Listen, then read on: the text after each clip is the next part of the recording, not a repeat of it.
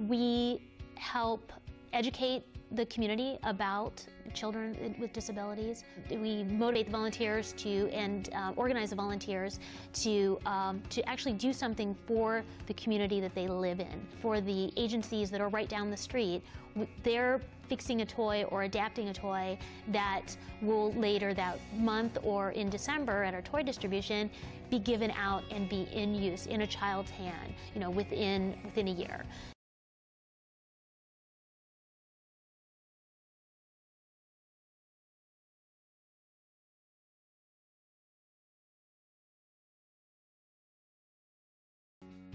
Many children with disabilities either don't have the coordination to operate these toys or might be paralyzed or might have developmental disabilities so they're not able to understand the cause and effect relationship where they hit a switch and something, something happens.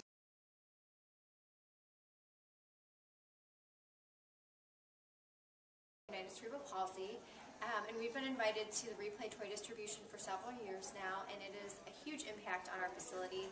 Um, we have a lot of families who might not have as much money, especially coming around the Christmas time, and especially getting some of these toys to purchase are very expensive, and every year you guys are so generous and give us so many toys that we bring back to our agency. Um, our families are beyond thrilled. Um, things that they just really can't get without